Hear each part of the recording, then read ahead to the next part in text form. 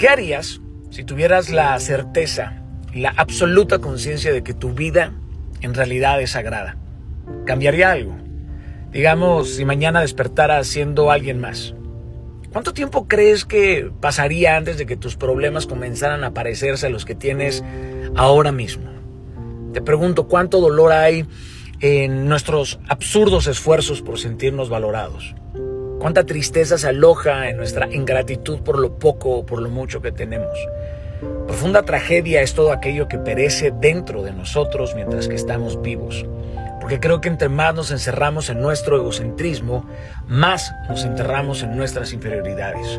Nos surge superar la costumbre de culpar a los demás por nuestros vacíos. ¿No nos hemos dado cuenta que preferimos ser admirados que amados? ¿Preferimos ser importantes a ser sabios?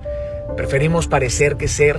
Hambrientos por amor, dispuestos a buscar con mucha vehemencia cualquier migaja Vamos a ir buscando un amor falso como consuelo, un aplauso como certificado de regalo, un trabajo que nos haga famosos o importantes. Pregunto qué nos falta. Amor, gratitud. Es más, pregunto, ¿lo resuelve todo el amor y la gratitud? Yo podría pensar que lo resuelve casi todo. Y aquello que no resuelve, lo hace soportable. ¿A qué voy con todo esto? Creo que no vas a ver a un malagradecido feliz. Que la gratitud es un requisito para la felicidad. La gratitud y el enojo, de hecho, no saben coexistir. Y hoy que veo, pues al parecer nuestra sociedad ya no tiene asiento para la gratitud. Están los que piensan, de hecho, que dar gracias por la vida es un tipo de conformismo, que dar las gracias es aceptar las enormes injusticias que nos rodean. Pero hay que revisar los, libros de historia, porque un día van a reseñar de que este mundo se quedó sin gente agradecida. El tesoro, queridos, siempre ha estado a la vista, pero nadie se ha dado cuenta. ¿Y saben por qué no nos hemos dado cuenta? Por menospreciar el aspecto del recipiente que contiene ese tesoro. Hay quienes cotizan un regalo por su esplendor. Hay quienes solo se preocupan por cómo se ve el cofre por afuera sin saber que el tesoro está por dentro. Hay gente que siempre dice gracias, pero nunca ha podido sentirlas porque creen que salen de la boca cuando en verdad las gracias salen del corazón. Por ello, la siguiente ocasión que te pregunten por una persona que amas, no olvides también mencionar tu nombre. Hemos recibido el regalo, pero hemos olvidado por completo abrirlo.